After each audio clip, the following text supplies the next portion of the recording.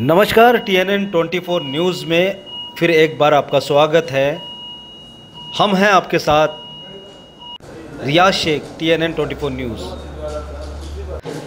दोस्तों, अगर हमारे घर में किसी की तबीयत ख़राब होती है या कोई हमारे परिवार में बीमार पड़ता है तो हमें भगवान अल्लाह ईश्वर याद आता है। अगर उसके बाद कोई याद आता है तो वो है डॉक्टर हमारे भारत में, हमारे हिंदुस्तान में डॉक्टर को भगवान का रूप कहते हैं। वो डॉक्टर जो मरीज़ को बचाने की पूरी पूरी कोशिश करता है। तो आइए आज हम चलते हैं ऐसे हॉस्पिटल में जहाँ गरीबों की लिए जो स्कीमें हैं, वो किस तरीके से स्कीम में बैठ सकते हैं और क्या क्या डॉक्यूमेंट्स लग सकते हैं। ये सारी चीज़ें, सारी बात करेंगे हम नागपुर के प्रसिद्ध डॉक्टर और हॉस्पिटल, आशा हॉस्पिटल, जो कामटी रोड नागपुर में है। तो आइए हम बात करते हैं डॉक्टर राजेंद्र अग्रवाल जी से, जो हॉस्पिटल के डायरेक्टर हैं, और उनसे जानना चाहेंगे कि एक गरीब अगर बीमार होता है तो वो इलाज अपना प्राइवेट हॉस्पिटल में नहीं करा सकता। नमस्कार T N N twenty four news में फिर एक बार आपका स्वागत है। मैं हूँ रियाज शेख। मरीज़ चाहे कोई भी हो और उसके परिवार वाले अगर मरीज़ को बचाना चाहते हैं तो उससे सबसे पहले भगवान का नाम लेते हैं। उसके बाद भगवान के बाद नाम आता है डॉक्टर का। डॉक्टर को भी भगवान के रूप में ही देखा जाता है। आज हमारे साथ आशा हॉस्पिटल के राजेंद्र अग्रवाल जी है, जो एमडी है एमडी डायरेक्टर है, वो हमारे साथ है। हम कुछ तथ्यों पर बात करेंगे इलाज के मामले में। किसी गरीब को अगर किडनी, स्टोन, बहुत सारी बीमारियाँ हैं और वो इलाज कराना चाहते हैं तो डॉक्टर साहब से वो फ़ायदे पूछेंगे। वो जानना चाहेंगे हम कि गरीबों के लिए कौन कौन सी स्कीमें गरीबों को का इलाज किया जा सकता है या उसकी क्या सूरत है जिसकी वजह से लोग, गरीब लोग लाखों, हज़ारों रुपए, करोड़ों रुपए नहीं लगा पाते हैं? हमारे देश में गरीबी का ज़्यादा स्तर देखा जा रहा है, इसी कारण देश और दुनिया में स्तर गिरता जा रहा है। लेकिन जब बीमारी कोई आती है, बीमारी जब लगती है तो उसमें ये नहीं देखा जाता कि कौन गरीब और कौन अमीर है। ऐसी सूरत में हमें डॉक्टर ही नज़र आते हैं, डॉक्टर भगवान का रूप होते हैं। तो मेरे साथ है राजेंद्र अग्रवाल जी जो ये आशा हॉस्पिटल के डायरेक्टर है और यह आशा हॉस्पिटल का है वो भी मैं आपको जानकारी दे दूँ। महाराष्ट्र के नागपुर में कामटी रोड पर यह आशा हॉस्पिटल है जो अपने कार्य के लिए काफ़ी प्रसिद्ध है और बड़े बड़े ऑपरेशन यहाँ से होकर पेशेंट अच्छे जाते हैं। तो आइए हम बात करते हैं डॉक्टर साहब से। डॉक्टर सर आपका T N N twenty four news में बहुत बहुत स्वागत है। धन्यवाद बहुत बहुत धन्यवाद आशा हॉस्पिटल ये कामटी में स्थित है hundred bed multi specialty hospital है। मैं पिछले 35 वर्षों से इस हॉस्पिटल में अपनी सेवाएँ दे रहा हूँ और हमने इस हॉस्पिटल में अनेकों गरीबों मरी, गरीब मरीजों का बहुत सारे राज्य राज्य की जो स्कीम्स हैं गवर्नमेंट स्कीम्स हैं और प्रधानमंत्री जन आरोग्य योजना है उसके माध्यम से हम लोग बहुत सारे मरीजों का इलाज कर चुके हैं।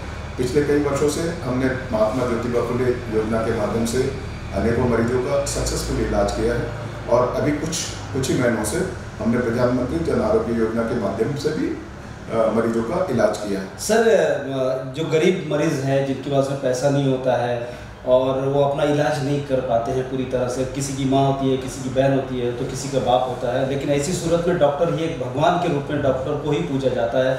और हकीकत है कि डॉक्टर कोशिश करता है लेकिन बचाना या मर, मरना या जिला ना वो ऊपर वाले के हाथ में होता है। आप कोशिश करते हैं और अपनी तरफ़ से पूरा काम करते हैं। तो ऐसी सूरत में जो गरीब पेशेंट होते हैं उनको आप किन स्कीमों में बिठाते हैं? जैसे कि तीन लाख ढाई लाख का अगर खर्च है तो उसको कौन सी स्कीम देते हैं? आप क्या ऐसे अनेकों किस्म के मरीज़ होते हैं और अनेकों किस्म की बीमारियाँ हैं। जो बीमारियाँ इन योजनाओं में आती है, जैसे हृदय की angioplasty bypass surgeries valve replacement ये सामान्यतः डेढ़ लाख से पाँच लाख रुपए तक प्राइवेट अस्पतालों में इसका खर्चा आता है। लेकिन जिन मरीजों के पास में इसका कार्ड होता है, ऐसे मरीजों को हम लोग निशुल्क एडमिशन करके और उनका इलाज करते हैं। उसी तरह जो कैंसर के मरीज़ होते हैं, जिसमें वो ऑपरेट किया जा सकते हैं, ऐसे भी मरीजों का, अनेकों मरीजों का हमारे यहाँ बॉम्बे से कैंसर सर्जन आते हैं, वह इसका इलाज करते हैं।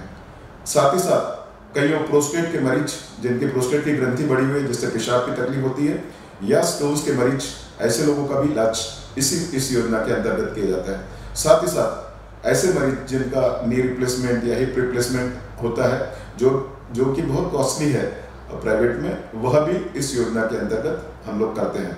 और हमने more than hundred bypass surgeries की हैं करीबन 60 से 70 वाल रिप्लेसमेंट किए हैं, और अनेकों एंजियोप्लास्टीज हमारे हॉस्पिटल में कॉम्प्लेक्स एंजियोप्लास्टीज भी हमारे हॉस्पिटल में इस योजना के अंतर्गत हुई है। उनकी चेहरे की चमक एक निश्चित ही डिफरेंट होती है जो हम बता भी नहीं सकते, अंदर से आशीर्वाद देते हैं, क्योंकि ये ये कभी पॉसिबल नहीं होता कि जो जिस कॉस्ट में अभी या जिस रूप में ये सेवा मिल रही है, वो उनके बस की बात हो। क्योंकि आज के ज़माने में बहुत से बहुत से लोग अपना दिन भर का ही मजदूरी करके, अपना रात का, रात में राशन पानी ला करके अपना गुजार, गुजर बसर करते हैं। लेकिन इस योजना के, और इस योजना के अंतर्गत यदि नहीं आते तो बहुत सारे मरीजों को अपने घरों को, मकान को गिरवी रखना पड़ता है या कर्ज में जाते हैं और उसके बाद में खुदकशी का कारण बनते हैं। तो निश्चित रूप से ये ये जो योजनाएँ लाई है सरकार ने, हज़ारों हज़ारों लोगों का बहुत ज़्यादा फ़ायदा हुआ है और हमें खुशी है कि हमें प्रभु ने इस लायक बनाया है कि हम इस योजना के अंतर्गत उन तक ये लाभ पहुँचा सके। मेरी आप T N N TV twenty four से ये विनंती है कि ज़्यादा से ज़्यादा मरीजों तक यह मैसेज पहुँचाए जिससे वो ज़्यादा से ज़्यादा लोग इस योजना का फ़ायदा उठा सके। सर मेरा एक, दो सवाल एक साथ है कि पहला सवाल ये है कि बीपीएल कार्ड जो है, वो बीपीएल पर जो इलाज होने वाला था, वो महात्मा फुले में कन्वर्ट कर दिया गया है। दूसरा ये था कि अगर कोई गरीब, बहुत सारे लोगों को ये एक जाता है, ये लोग बोलते हैं कि अगर प्राइवेट हॉस्पिटल में गए तो काफ़ी खर्चा आएगा और उसके कारण वो लोग नहीं जा पाते कहीं और जाके इलाज कर लेते हैं जो मेवा हॉस्पिटल हो गए या सरकारी हॉस्पिटल में चले जाते हैं तो उन लोगों को आप क्या मैसेज दे, देना चाहेंगे? मेरा मेरा यही कहना है कि जितनी भी जो भी बीमारियाँ उसके अंतर्गत दी हुई है और उस उस बीमारियों का आप लोग ज़रूर इस हॉस्पिटल के माध्यम से फ़ायदा उठाएँ और ज़्यादा से ज़्यादा लोग इसका फ़ायदा उठाएँ। यही मेरी अपेक्षा है यही मेरा कहना है। बीपीएल महात्मा फुले में कितना इस कंसेशन देते हैं मरीज़ को? महात्मा महात्मा फुले और प्रधानमंत्री जन आरोग्य योजना जो है उसमें मरीज़ से कुछ भी पैसा चार्ज नहीं किया जाता निःशुल्क है। कौन कौन सी योजनाओं में निःशुल्क है?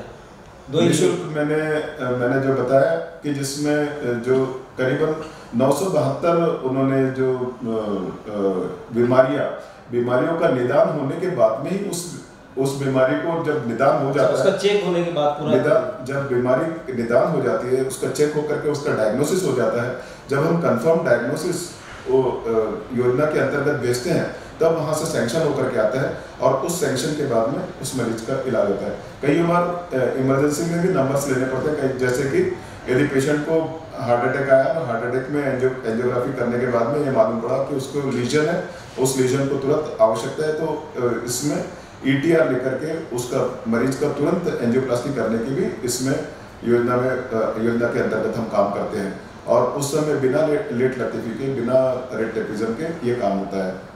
हमें खुशी है कि इसके माध्यम से हमने काफ़ी लोगों को सहायता की है। इसमें पेस मेकर इम्प्लांटेशन भी है, इसमें वेल रिप्लेसमेंट भी है।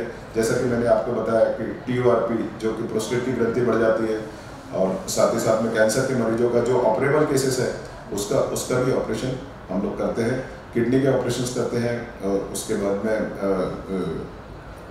कैंसर के ऑपरेशन करते हैं। नी रिप्लेसमेंट और रिप्लेसमेंट भी जिस जिस योजना में दिया है, उस योजना के अंतर्गत हम मरीजों को वो फ़ायदा भी पहुँचाते हैं।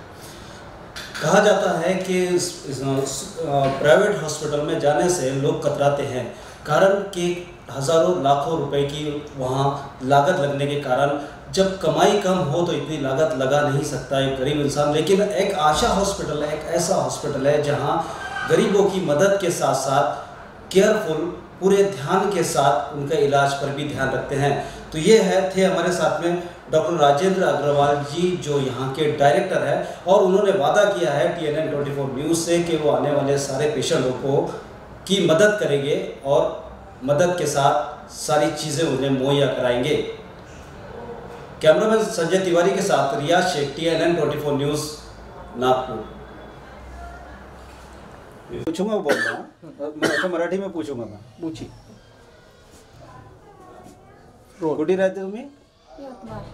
यवतमाळ। काय झालं आता? प्लास्टिक। एन्जिओप्लास्टिक झाली काय? कशी काय झाली? छातीत दुखे म्हणून। हाँ. कशापासून वाटून राहिलं तुम्हाला? आता चांगलं वाटत आहे कोणत्या हॉस्पिटलमध्ये आहे तुम्ही? आशा हॉस्पिटल आशा हॉस्पिटलमध्ये. हो. आणि पैसे कसं काय खर्च आला काय? काय फ्री झाला? फ्री झाला? तुम्ही खुश आहे काय? हो. सर. माझं नाव चंद्रकांत खरतडे आहे. सर. हिंदी हिंदी. मेरा नाम चंद्रकांत खरतड़े है मैं यवतमाल जिले से आया हूँ. और मैं यहाँ आशा हॉस्पिटल में आया हूँ. आशा हॉस्पिटल में महात्मा गांधी योजना के महात्मा गांधी योजना के अंतर्गत हमें पूरा निःशुल्क योजना मिली है. और ऑपरेशन पूरा फ्री में हुआ है और कोई दिक्कत नहीं हुई।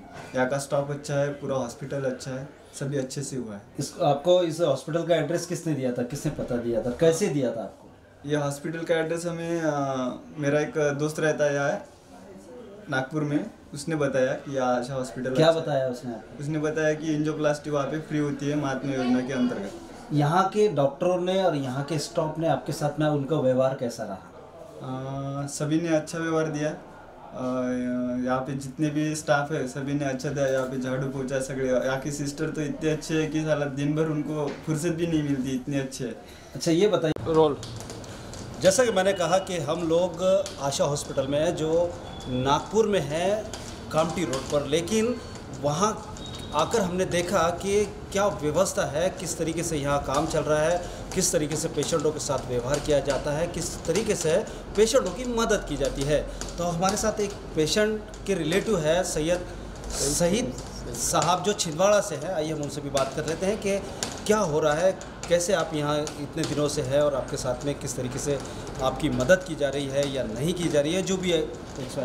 मोहम्मद सईद साहब यहाँ आप छिंदवाड़ा से जी सर।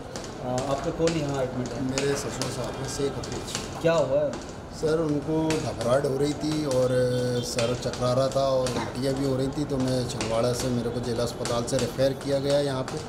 और जब मैं यहाँ लेके आया तो मेरा तुरंत यहाँ पे कार्ड भी बना।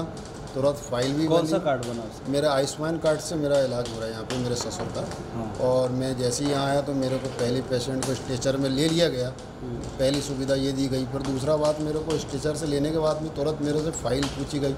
उनको एक पसीना भी निकल रहा था जो रियल कहानी वो बता रहा हूँ उनको पसीना निकल रहा था तो वहीं से किसको पसीना निकल मेरे ससुर को। मेरे पेशेंट की बात कर रहा हूँ। मेरे पेशेंट को ससुर ससुर है मेरे।